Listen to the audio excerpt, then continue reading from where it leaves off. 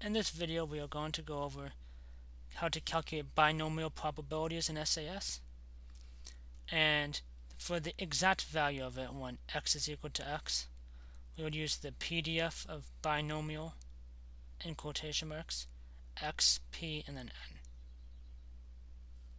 If we wanted to find the cumulative binomial probabilities we are using CDF instead of PDF. And uh, the CDF one is when we want less than or equal to some number. If we want greater than or equal to, we do, we do 1 minus CDF of binomial xpn. And then to do between two values, we do uh, CDF of binomial bpn and then CDF of binomial apn. So let's say, for example, if we want, wanted to do if we wanted to do, and let me very quickly draw this out, let's find the probability of getting exactly,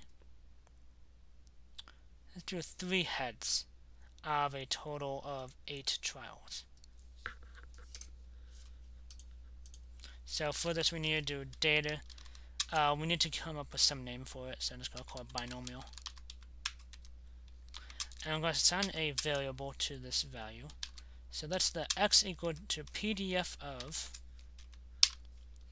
you put no quotation marks and then binomial. By the way, make sure you use the same quotation marks on either side of this. Do note when I press the key how it automatically provided both. Uh, binomial, x in this case we are going to call eight, um, 3. We're going to call p for probability of flipping a heads as 0.5 and a total of 8 samples or trials I should call them, and then run. Uh, since we also want to make sure we print out these values, we're going to do proc print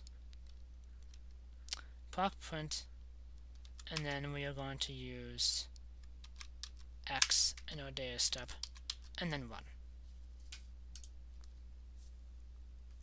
And this will give us a value for flip for getting three heads from eight coin flips as 0.219 about. Um, if we want to do the same thing but do less than or equal to 3, the only difference in this calculation is this PDF is going to become a CDF. If I could spell, that'd be helpful. Otherwise, everything else stays the same. We click run for that, and that'll give us now a new value of 0.3633 if we want to do to the right of 3, so 3 or greater, we are going to be doing 1 minus CDF of 3.5 and 8. And then 1 again. This will give us now 0.6367. And then finally, if we wanted to do between two values, so why don't we do between?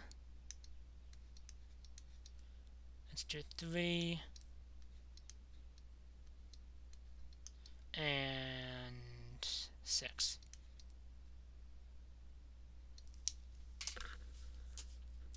So for this we are going to do CDF binomial. We're going to do 6 first comma 0.5 comma 8 minus CDF of binomial 3.5 and 8.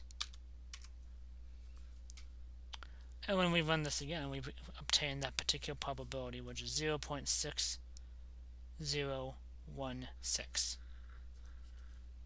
Alright? Let me know if you have any questions or concerns. Thank you.